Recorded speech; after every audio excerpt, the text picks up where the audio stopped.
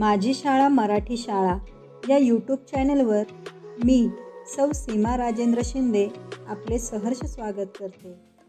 इयत्ता तिसरी विषय मराठी पाठ बावीसावा मधमाशीने केली कमाल. आज आपण या पाठावर आधारित स्वाध्याय पाहूया. प्रश्न पहिला एका वाक्यात उत्तरे लिहा. अ सूर्यफुलाचे वर्णन करणारे शब्द कोणते? उत्तर पिवळी धमक टपोरी टवटवीत हे शब्द सूर्यफुलाचे वर्णन करणारे आहेत.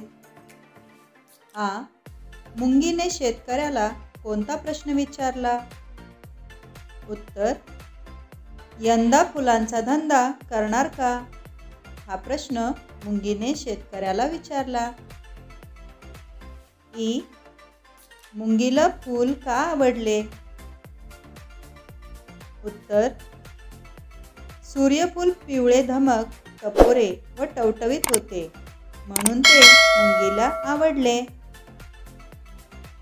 ई चिमणी खेळायला का निघून गेली? उत्तर बिया सोलता सोलता चिमणीला कंटाळा आला. म्हणून ती खेळायला निघून गेली. प्रश्न दोन दोन तीन वाक्यात उत्तरे लिहा. अ झाडांवर कोण कोण राहत होते? उत्तर एका शेतकऱ्याने शेताभोवती झाडे लावली होती. झाडांवर मधमाशी कोकिळा खारुताई चिमणी व कावळा राहत होते. आ मुंगीने कोणाकोणाला बिया दिल्या? उत्तर मुंगीने काही बिया कोकिळेला व काही खारुताईला दिल्या.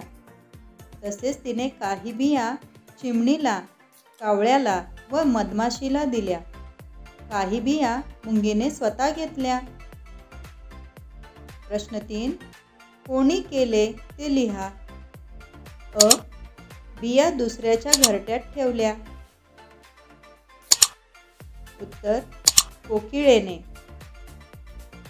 आ बिया सोलल्या. उत्तर चिमणीने. ई सगळ्या बिया खाल्ल्या. उत्तर खारुताईने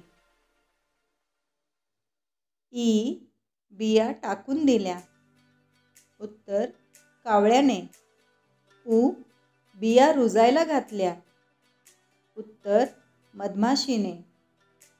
प्रश्न चार कशासाठी ते लिहा?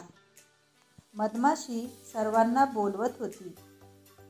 उत्तर खड्डा करून त्यात बिया रुजत घालण्यासाठी मधमाशी सर्वांना बोलवत होती. आ मुंगीने बिया जपून ठेवल्या. उत्तर पुढच्या वर्षी खाण्यासाठी मुंगीने बिया जपून ठेवल्या. ही खारुताई शेंड्यावर गेली. उत्तर बिया लपवून ठेवण्यासाठी कारुताई शेंड्यावर गेली. ही शेतकरी बियातून तेल गाळतो.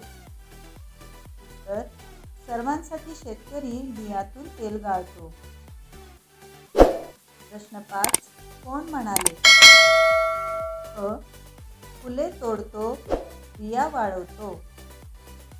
तर शेतकरी म्हणाला. आ सगळ्या बिया जातील वाया. उत्तर कावळा म्हणाला. ही कशासाठी कशासाठी? उत्तर कावळा म्हणाला. ही तरच मिळेल पोटाला घास. उत्तर मधमाशी म्हणाली. या सर्व प्रश्नांची उत्तरे छान अक्षरात वहीत लिहून काढा. आपण भेटू पुढील व्हिडिओमध्ये. तोपर्यंत बाय.